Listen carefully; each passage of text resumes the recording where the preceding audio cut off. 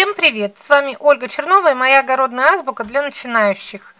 Я вернулась к теме пикировки перца и заглубления. Нужно ли заглублять перец?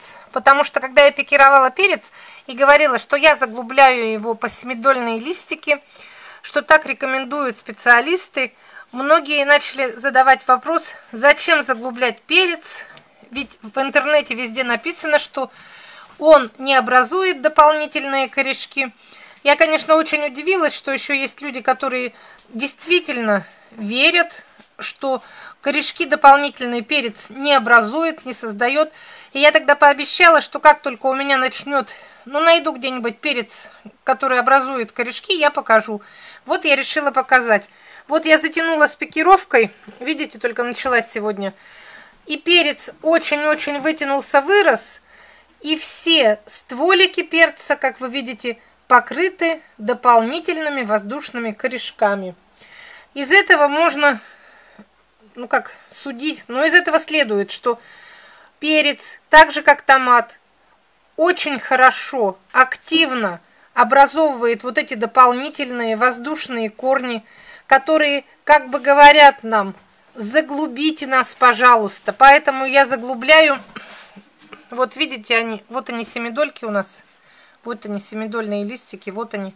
Сейчас я буду пикировать, и я заглублю прям по самые семидольные листики. Здесь вот эти корни, они уже готовы, я вот так заглублю. Вы представьте, насколько сильнее будет корневая система. Поэтому, когда я называла один, одно из достоинств пикировки, так как я сторонница пикировки, я всегда перцепикирую.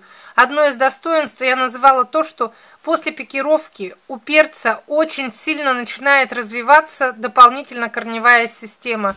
Вот на всем на этом стволе вот эти наши корешки, они очень-очень быстро сцепятся с грунтом и начнется развитие вторая ступень корневой системы.